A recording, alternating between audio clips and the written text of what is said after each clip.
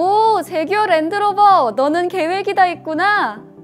재규어 랜드로버가 2025년까지 모든 차종을 전기차로 전환한다는 계획을 발표했습니다.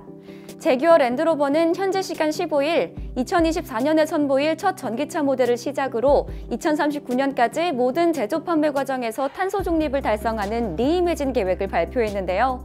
우선 앞으로 5년 동안 레인지로버, 디스커버리, 디펜더 등 3개 모델에서 6개의 순수 전기차 모델을 선보인다고 합니다. 제기어 랜드로버의 궁극적인 목표는 탄소 배출량 제로 달성입니다.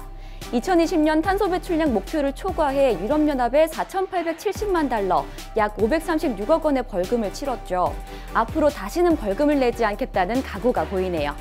모든 계획이 차질 없이 이루어진다면 영국에서 내연기관 실적 판매가 금지되는 2030년까지 모든 제기어 및 랜드로버 모델의 60%가 탄소제로 차량일 것으로 예상하고 있습니다.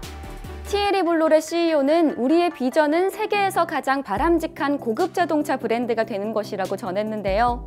제기어 랜드로버의 계획은 차질 없이 진행될 수 있을지 지켜보도록 하겠습니다.